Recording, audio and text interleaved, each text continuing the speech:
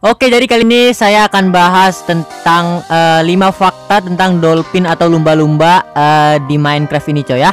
Oke, langsung aja mungkin kita akan bahas.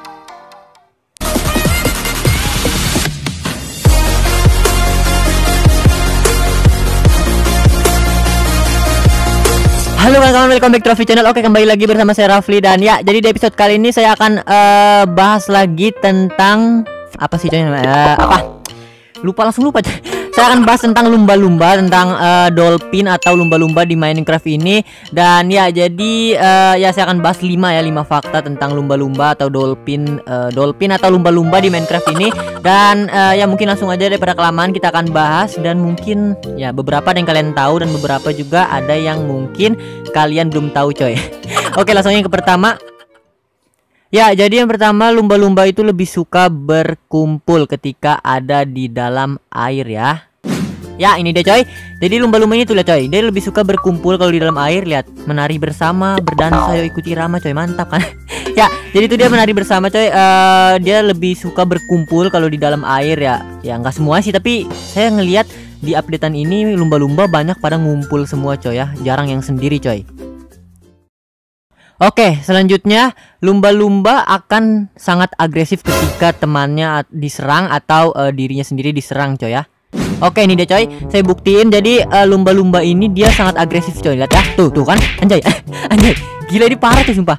Dia nyeruduk-nyeruduk begitu nyundul. Anjay apa banyak tuh lihat ya. Pada lompat. Jadi kalau kita misalnya uh, Kita deket sama dia Dia langsung nyeruduk coy. Kalau misalnya kita di darat juga sama nih. Sampai ada yang Pasti sampai ada yang ke darat. No kan? Ini parah sumpah deh ya. Oke langsung aja kita next coy ya Ya selanjutnya jadi lumba-lumba uh, jika dibunuh akan mendapat raw fish coy ya. Oke siap. Ya ini dia. Kita akan coba bunuh satu lumba-lumba. Uh, Oke ini dia. Ah nggak keluar apa-apa kocak. Ini dia. Nah itu dia. Uh, Jadi kita akan mendapat item raw fish ya. Eh raw ya raw fish ya. Iya iya ya, raw fish raw fish. Ya jadi lumba-lumba itu akan ngeluarin item raw fish. Uh, Ini kayaknya bisa dimasak sih. Saya jarang sumpah dari Minecraft mancing. Ya jarang coy. Jadi uh, raw fish itu bisa dimakan kayaknya ya bisa dimakan ya. Oke pokoknya lumba-lumba atau dolphin kalau kita matiin dia akan ngeluarin raw fish coy. Jadi ya kalian bisa coba aja sendiri di versi Minecraft kalian masing-masing coy.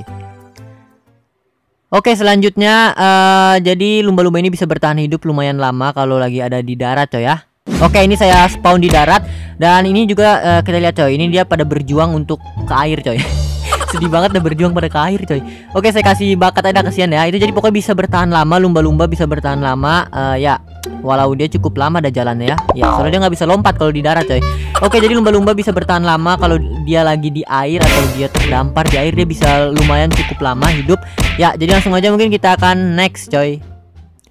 Oke, jadi uh, selanjutnya lumba-lumba ketika player berenang dia akan ikut uh, player berenang atau menemani player berenang coy. Ini dia oke. Okay.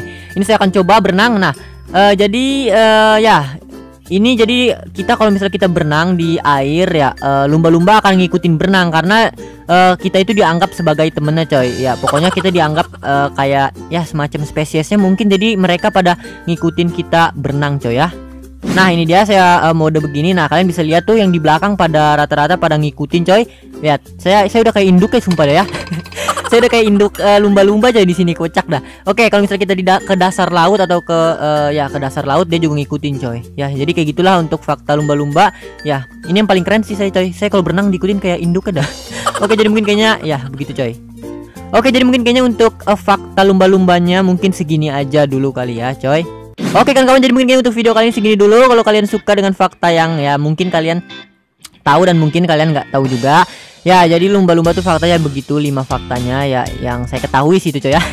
Oke, jadi kalau kalian suka dengan video ini jangan lupa tinggalkan jempol biru kalian di video ini. Dan maaf videonya bentar banget. Saya yang ngasih tahu lima fakta doang, eh, 5 fakta lumba-lumba ini atau dolphin di Minecraft Pocket Edition ini dan oke okay, jadi kalau kalian suka uh, kayak biasa jangan lupa tinggalkan jempol biru kalian di video ini. Jangan lupa juga kalian like di komen di share di subscribe semuanya coy. Uh, ya semacam macam ya.